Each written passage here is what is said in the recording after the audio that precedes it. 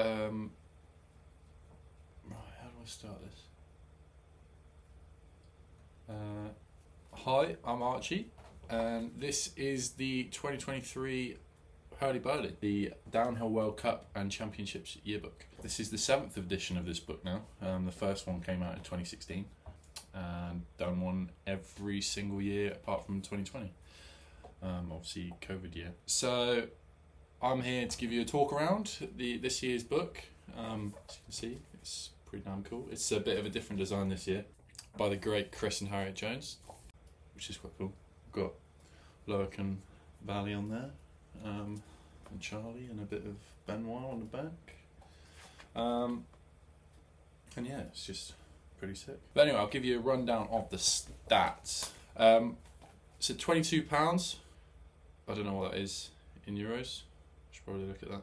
Two hundred and seventy-six luscious, silky smooth pages, and also a silky finish on the cover. Uh, it's 284 by 222 millimeters, so that's that way. No. Printed in Wales. So principal photography from Boris Beyer, Sven Martin, and Seb Schieck. Um, but yeah, I'm just going to give you a talk through of the 2023 Hurly Burly. Start with beautiful John Gregory drawing there, Mr. Frother himself. Up there. Cool write up from Wyn Masters about the Privateer project. I'm into race one, Vali there, Lenzerheide. The race report was done by George Gore Brown. Pretty sick. Brendog there, giving a little uh, Deathgrip 2 teaser. That was a great race. It was a proper test, wasn't it, to see how the first of the new downhill series was going to go. Great shot there of Bernie. In each of the races, you get a stats page like this, which is really cool. So it's all from the UCI data, and it gives you all the elevation and the average gradient, as well as the weather, the distance covered, speeds, all that kind of stuff. Which is pretty sick. Great shot there of Cammy, who hopefully he's on the mend. And all the words there are from Chris Kilmurray. You might know him as Point One Athletic on Instagram. Got some good photos in there. And obviously, uh, return of return of the woman herself, Rachel Atherton. Straight back for a win, which is God, it was insane, wasn't it? Yeah, just insane. Great shot there. Jordan Williams. First elite race and first win. Bonkers that. Yeah, incredible. 18. Makes me think what I've done. Nothing like that. End of each race, we've got points battle from Nick Hamilton, which is cool, little right up there, as well as all the split times and the points. There's a lovely interview with Rachel Atherton. Great right up there from Paul Vines, who you might know as Satellite Coffee Morzine legend. He helped us out during our Les Gets pop up um, and was there every morning. And then on to Leogang. Amazing shots. Christian Hauser up there. It's cool. And this is Lauren Smith, wrote this one. Cool little montage there, everyone. Erik Fedko's nipple, just there. Great shot of Vali flying off into the Leogang Valley from Seb there. Sick shot finals. And there you go. Great shot from San again of uh, Brook Macdonald and the anatomy of the track again from Chris. Oh, there's too many good photos. See the more bangers there.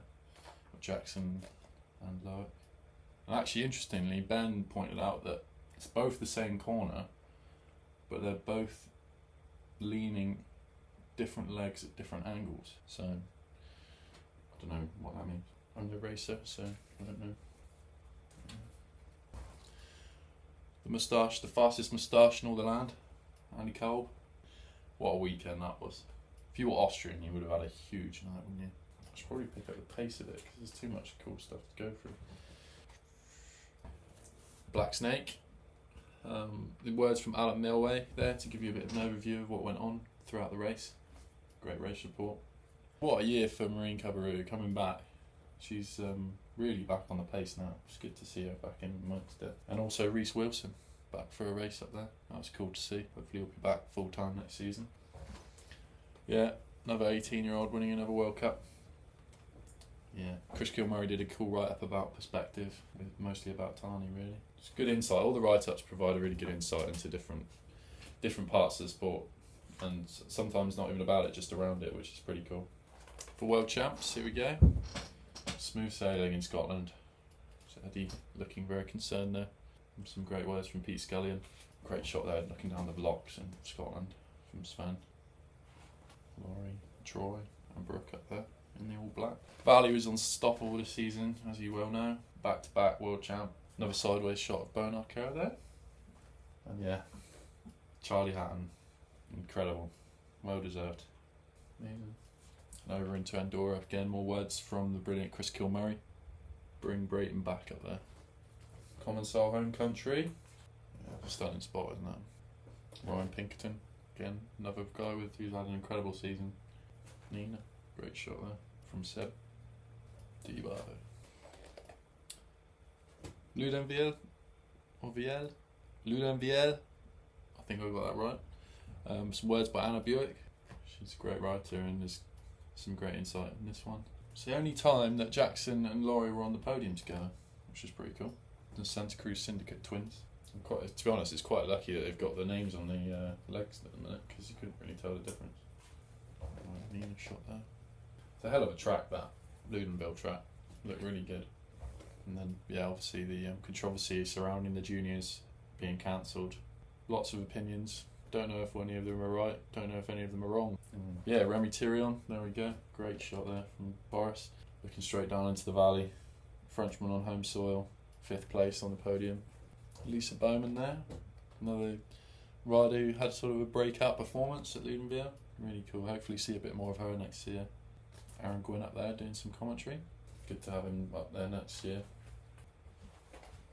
Les Gets, what a race. First World Cup I've ever been to, and Jesus, it was mental. Never seen an atmosphere like that in anything. Utterly ridiculous.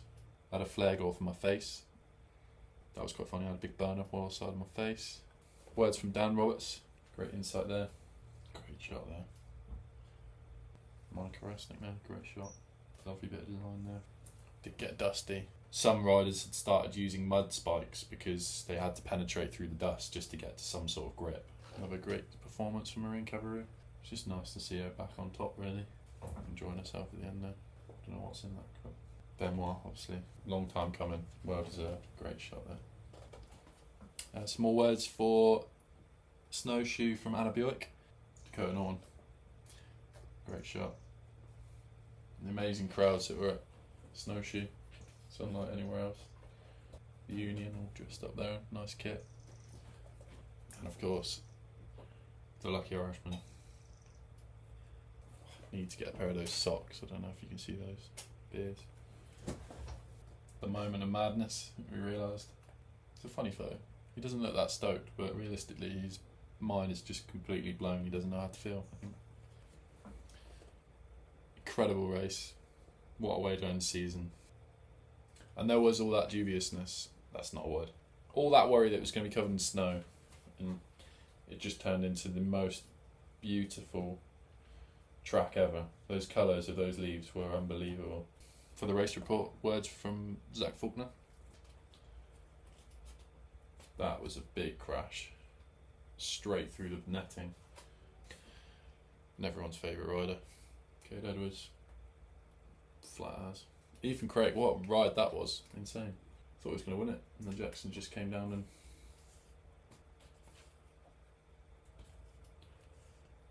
What a man.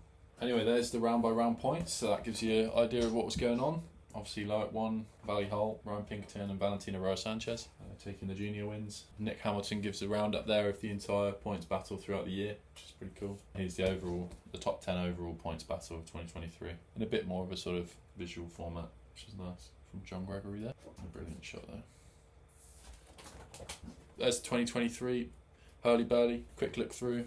I know it wasn't that quick, sorry. It's just too much cool stuff in there. Thank you to everyone that turned up to our Les Gets pop up. It was great to meet so many of you and get to chat just about pretty much anything, be it bike related, be it whatever. Been an incredible season and uh, can't wait for it to get started again next season.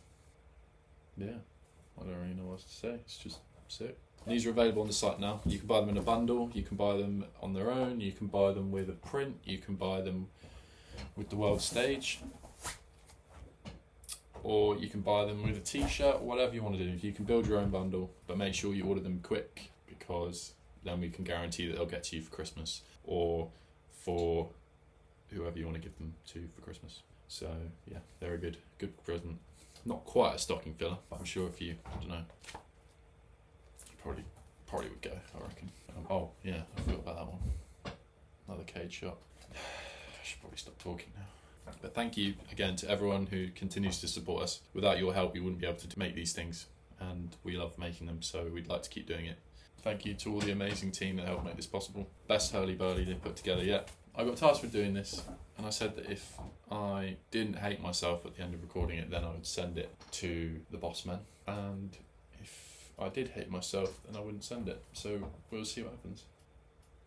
But yeah, Hurly Burly 2023. Go get 'em.